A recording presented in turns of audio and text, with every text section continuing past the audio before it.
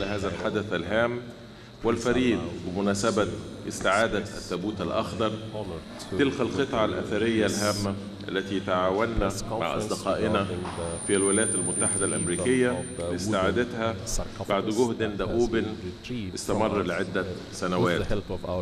قد تضافرت جهود الدولة المصرية ممثلة في وزارة الخارجية وبعثتها الدبلوماسية في الولايات المتحدة الأمريكية ووزارة السياحة والآثار ومكتب السيد النائب العام من أجل استعادة قطعة ثمينة من تاريخ مصر وهو الأمر الذي يؤكد التزام الدولة المصرية وتمسكها باستعادة آثارها التي خرجت بشكل غير شرعي إلى الخارج باعتبارها جزءا أصيلا من إرثها الحضاري الذي لا يقدر بثمن.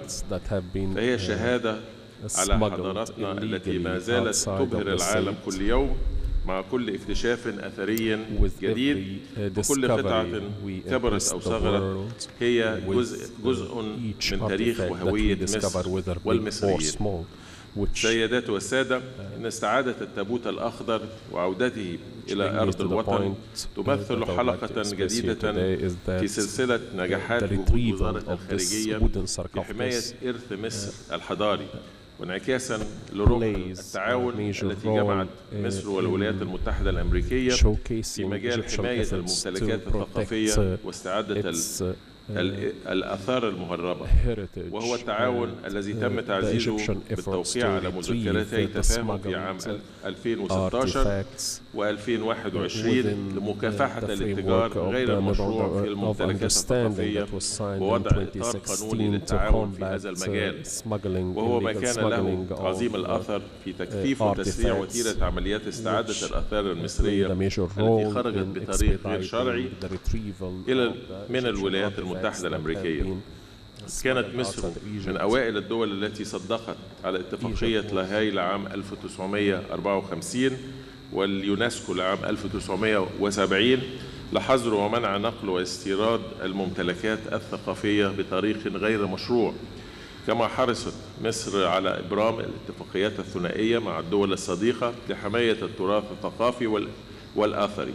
بما يسهم من بما يسهل من إجراءات الخاصة بعملية الاسترداد مع العديد من الدول. كما أننا بصدد التوسع في توقيع تلك الاتفاقيات التي من شأنها تسهيل عملية استعادة أثارنا المنهوبة من الخارج. وقد كان من نتاج ذلك أن نجحت مصر على مدار الأعوام العشرة السابقة في استعادة العديد من القطع الأثرية المهربة والتي يقارب عددها تسعة وعشرين ألف وثلثمائة وثلثمائة قطعة أثرية. سيدات والسادة إن مصر تولي عظيم الاهتمام باستعادة كافة الآثار المصرية التي تم تهريبها إلى الخارج خاصة وإن لنا سبقا في الاهتمام بالحفاظ على التراث الثقافي العالمي. فالآثار المصرية ما هي إلا جزء من المنظومة الأوسع للإرث الثقافي والحضاري للبشرية مما يحتم علينا جميعا تكثيف التعاون للحفاظ على هذا الإرث.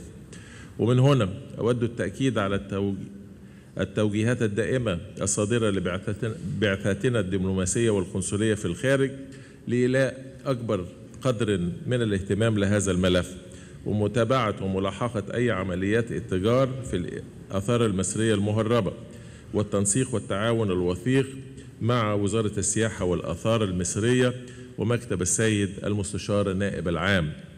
بالإضافة إلى وزارة الداخلية لتوحيد وتنسيق الجهود الوطنية لاسترداد تلك الآثار. إن تلك الجهود التي تؤتي ثمارها بوتيرة سريعة في الفترة الراهنة تزيد من عزيمتنا على المضي قدما في هذا الطريق سعيا من جانبنا لاستعادة كافة الآثار المصرية المهربة كما أنها تزيد من إصرارنا على التنسيق مع شركاء مصر لتبادل المعلومات وتكثيف التعاون بشأن عمليات التهريب والاتجار غير المشروع في الآثار. في الختام أود أن أتوجه بخالص الشكر والتقدير إلى وزارة السياحة والآثار ومعالي الوزير ومكتب السيد النائب العام والسلطات الأمريكية للتعاون المثمر الذي أدى إلى النجاح في استعادة هذه القطعة الهامة من الآثار المصرية إلى أرض الوطن. شكرا لكم. معالي الوزير.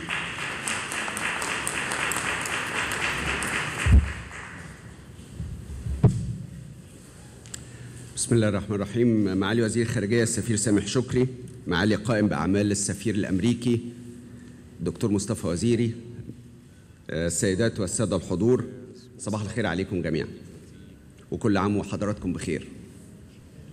أتمنى أن يكون هذا العام مليئا بالخير والرخاء والتقدم لكل الإنسانية.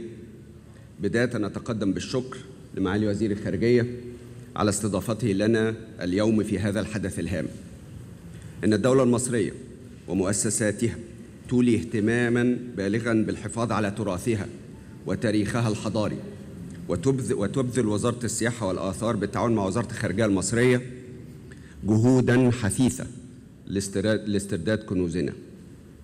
اليوم نحن هنا في وزارة الخارجية المصرية مع معالي وزير الخارجية لنؤكد على رسالة هامة وهي أن الدولة المصرية لن تتهاون. لن تتهاون ولن تتوانى عن بذل أي جهد من أجل استعادة آثارنا التي تم سرقتها أو التي تم تهريبها. نحن اليوم بصدد استلام قطع أثر قطعة أثرية هامة كانت قد سرقت وتم تهريبها من مصر منذ عدة سنوات إلى الولايات المتحدة الأمريكية. ومع تضافر الجهود المصرية والدولية والسلطات الأمريكية وبعد تحقيقات استمرت أكثر من عامين نجحنا في استردادها. لقد عانت مصر في فترات سابقة من عمليات نهب لتراثها الثقافي والأثري وهو ما دعا الحكومة المصرية لاتخاذ خطوات جادة وملموسة في حماية الممتلكات الثقافية والعمل على استردادها واسترداد ما تم تهريبه إلى الخارج. ولأن حماية الممتلكات الثقافية هي إحدى أهم أولويات الحكومة المصرية فقد أفرد الدستور المصري ثلاثة مواد حول حماية الآثار ومنع التعدي عليها واسترداد ما تم تهريبه. ولقد قامت مصر بالانضمام والتوقيع على اتفاقية اليونسكو سنة 1970 لمكافحة الإتجار غير المشروع في الممتلكات الثقافية كما تم عقد عدة اتفاقيات ثنائية في مجال استرداد الآثار ومكافحة الإتجار غير المشروع في الممتلكات الثقافية مع العديد من الدول. ومن أهم هذه الاتفاقيات اتفاقية التعاون الموقعة ما بين الخارجية الأمريكية والخارجية المصرية سنة 2016 كما ذكر زميلي مع الوزير الخارجية والتي تم تجديدها لمدة خمس سنوات في نوفمبر 2021 تم على أثرها تم على إثرها استرداد العديد من القطع الأثرية الهامة ومنها التابوت الذهبي للمدعو نجم عنخ عام 2019 أتمنى أن أكون قريت اسمه صح دكتور مصطفى؟ وما يزيد عن 5000 قطعة أثرية متنوعة عام 2021 وآخرها ما نحن بصدد استرداده اليوم. وهي 17 قطعة أثرية متنوعة ومن بينها تابوت أثري هام. وانتهز هذه الفرصة لأتقدم بالشكر لوزارة الخارجية المصرية ومكتب المدعي العام لمدينة نيويورك والسفارة الأمريكية في القاهرة والإدارة العامة للآثار المستردة في وزارة السياحة والآثار. على الجهد المبذول لاسترداد هذه الكنوز, الكنوز الأثرية. لقد استطاعت مصر ممثلة في وزارة السياحة والآثار بالتعاون مع كافة الجهات الوطنية وعلى رأسها وزارة الخارجية المصرية التي نحن في رحابها اليوم ووزارة العدل ووزارة الداخلية وكافة الجهات الأمنية والرقابية وشرطة السياحة والآثار في استرداد العديد من الآثار التي خرجت من مصر بطرق غير مشروعة. ففي السنوات الأخيرة تم استرداد 29300 قطعة من عدة دول عربية وأجنبية. فعلى سبيل المثال نجحت مصر في عام 2021 في استرداد 53 ألف قطعة أثرية. وفي عام 2022 استردت مصر أكثر من 110 110 قطعة أثرية من نيوزيلندا والولايات المتحدة الأمريكية وفرنسا وغيرها. اسمحوا لي مرة أخرى أن أتقدم باسمي وباسم وزارة السياحة والآثار. بأسمى آيات الشكر والتقدير إلى وزارة الخارجية المصرية. ممثلة في سفاراتها بالخارج. للجهود التي تقوم بها في هذا المجال وإلى سلطات الولايات المتحدة الأمريكية. والسفارة الأمريكية بالقاهرة وإدارة حماية الحدود والجمارك الأمريكية. على الجهد المبذول في منح دخول أية من أية من الممتلكات الثقافية المصرية إلى أراضي الولايات المتحدة الأمريكية تنفيذا لمذكرة التفاهم بين الحكومتين المصرية والأمريكية. وختاما أحب أن أؤكد على أن وزارة السياحة والآثار من خلال الإدارة العامة للآثار المستردة مستمرة في حماية آثارنا بكل جد لاسترداد الكنوز المصرية التي خرجت من البلاد بطرق غير شرعية فآثارنا هي إرثنا وتاريخنا وحضارتنا التي يجب أن نحافظ عليها أشكركم شكرا جزيلا ومرة تانية كل سنة وأنتم طيبين. شكرا جزيلا. آه، قبل أن نبدأ في إجراءات التسليم محضر تسليم آه، التابوت من وزارة الخارجية إلى وزارة السياحة والآثار. آه، سوف نفتح المجال لسؤال أو اثنين للسادة الوزراء لمن يرغب. أستاذ شريف عبد الحميد من الجمهورية. تفضل. سؤالي لمعالي الوزيرين بيشمل ثلاث أجزاء. يعني الجزء الأول ما هي آلية استرداد القطع الأثرية من الخارج؟ وأيضا هل تم يعني استرداد قطع أثرية من الولايات المتحدة الأمريكية في العام الماضي آه، 2022 وهل هناك يعني نقول مفاوضات أو تفاوض جاري مع دول أخرى لاسترداد قطع أثرية؟ شكرا لحضرتك تعالى دكتور مصطفى تعالى اتفضل. يمكن بالتالي كلنا نعرف الدكتور مصطفى وزيري مش كده؟ اتفضل. بسم الله الرحمن الرحيم.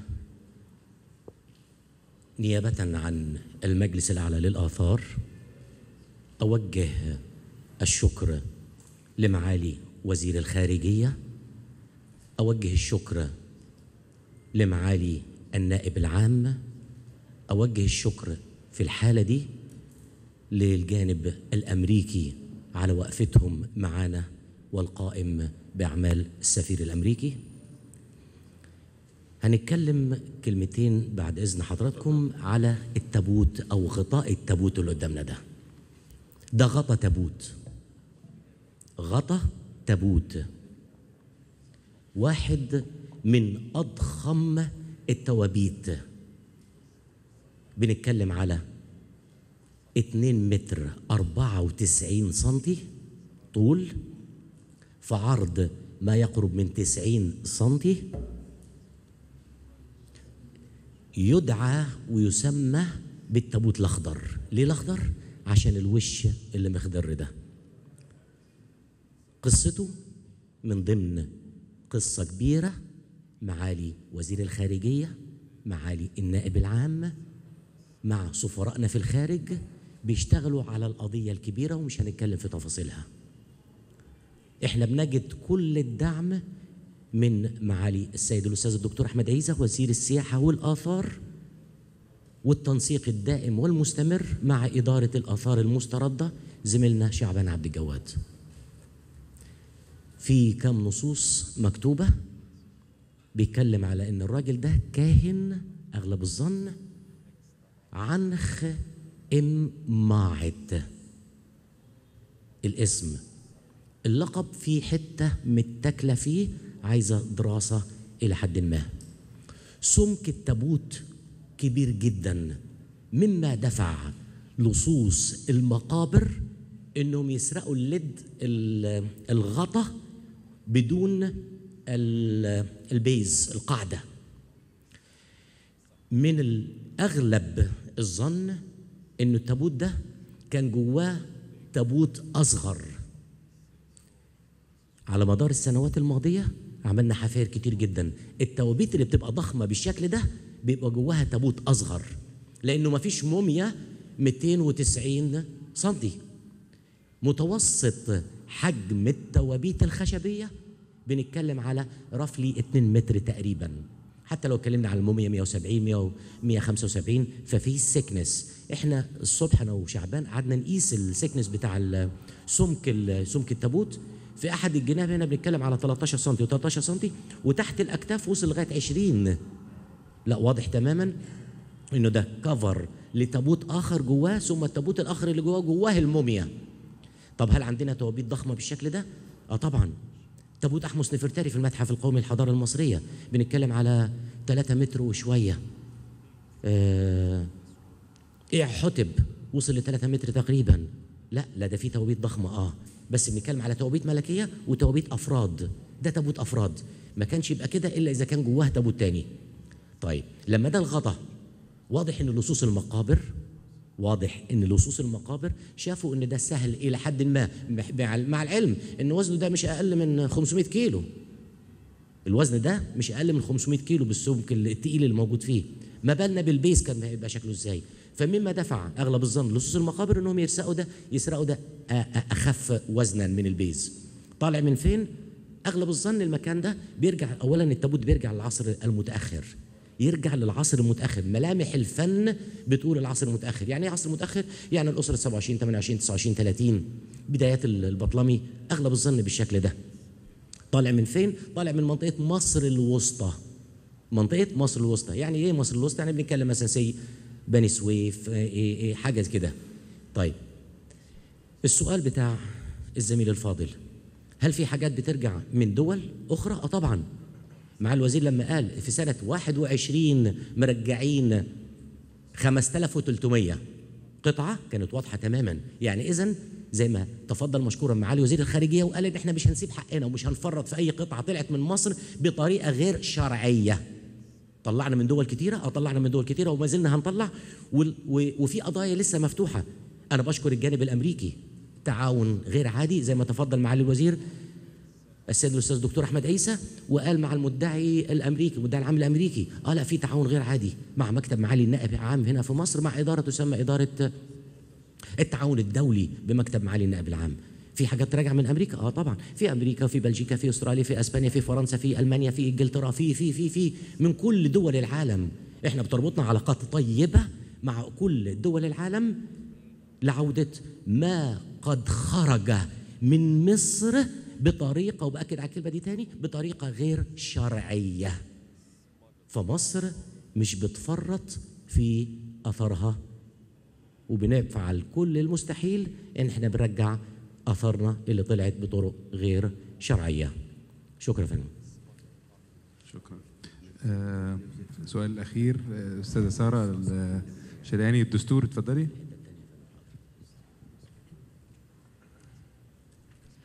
سؤالي لمعالي وزير الخارجية سامح شكري عن حماية الممتلكات الثقافية لمصر. آه، ما هي جهود الجهود على المستوى الدولي في حماية الممتلكات الثقافية خاصة في إطار يونسكو أو التعاون الثنائي؟ طبعا الإطار القانوني اللي أشرت إليه سواء كان اتفاقية لاهاي ل 1954 أو اتفاقية اليونسكو ل 1970 هي اللي بتتيح استعادة هذه الآثار والتزام الدول الموقعة على هذه الاتفاقيات بمراعاة التحري فيما يتعلق بعمليات الاتجار في في الآثار. وضرورة أن تكون أي آثار مشروعة في إطار آه، أي تداول آه، تجاري بالنسبة لها. وفي حالة عدم ثبوت آه، هذه ال- الأوراق الدالة على خروجها بشكل شرعي فإنها بالتالي لابد من اتخاذ الإجراءات القانونية آه، لاستعادتها. ونستمر في آه، الدفع بأولا عقد اتفاقيات ثنائية مع عديد من الدول الصديقة للتعامل مع هذه القضية بيسر وفي الإطار القانوني المحلي. وتتابع سفارتنا في الخارج هذا الأمر بكل دقة بالتعاون مع وزارة السياحة ومكتب النائب العام ويتخذ الإجراءات القانون- القانونية الكفيلة بعودة أي من الآثار المهربة. بالإضافة إلى ذلك طبعا في مجال عمل اليونسكو والقرارات الصادرة عن اليونسكو لتعزيز آه، أهمية التنفيذ السليم للإطار القانوني الحاكم ولكن أيضا المتابعة ووضع الأطر اللي تعزز من التزام كافة الدول بحماية التراث الإنساني العالمي وأيضا آه، منع الاتجار في التراث الثقافي. آه، أمر مهم لأنه آه، ما نطلع به في مصر من حماية لهذا التراث و وجوده للاستمتاع و والحفاظ على السمة الإنسانية الدولية له وما ننفقه من إقامة المتاحف سواء كان متحف الحضارة أو متحف المصري الكبير وغير ذلك هو المكان الملائم لعرض هذه الآثار في موقعها الأصلي وتتاح لكل الزائرين للاستمتاع بها والتعرف عليها. فنستمر في هذه الجهود سواء كان في اليونسكو في الإطار الثنائي ونتابع بدقة وبالتأكيد أنه هذه القضية بتأخذ أيضا زخم ربما حديثا. كان هناك توجه إيجابي من الفاتيكان في إرجاع بعض الآثار التي كانت في حوزتها. ونأمل أن تحذو حذو الفاتيكان وهي مؤسسة دينية عريقة وتعمل وفقا لمبادئ إنسانية فنأمل أن تحزو دول أخرى. ربما حصلت خاصة على قطع فريدة ليست لها مثيل أن تقدر بأن هذه القطع يجب أن تعرض في موقعها الأصلي. ليس فقط بالنسبة لمصر ولكن بالنسبة للدول ذات الحضارات القديمة التي خرجت لظروف متصلة بالتواجد الأجنبي على أراضيها. لن أقول الاحتلال على أراضيها وما أتيح له لهذا الاحتلال من تعامل غير منضبط مع هذه الآثار مراعاة القيمة الإنسانية وعودة الآثار بشكل طوعي شكرا جزيلا. اسمحوا لي أدعو السيد سفير عمر سليم مساعد وزير الخارجية للشؤون الثقافية أستاذ شعبان عبد الجواد رئيس إدارة مركزية للآثار والأصول المستردة للتوقيع على محضر التسليم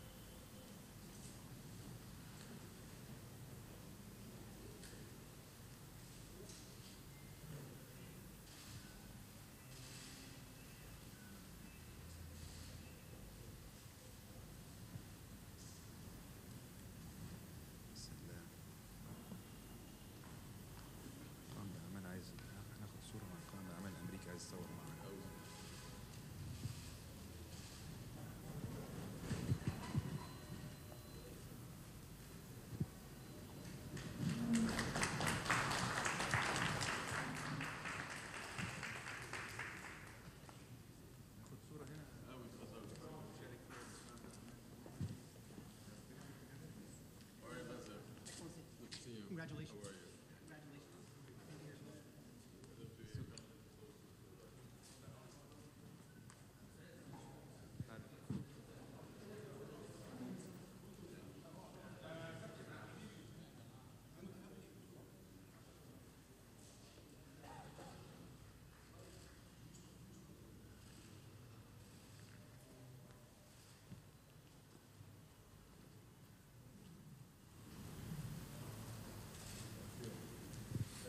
شكرا جزيلا.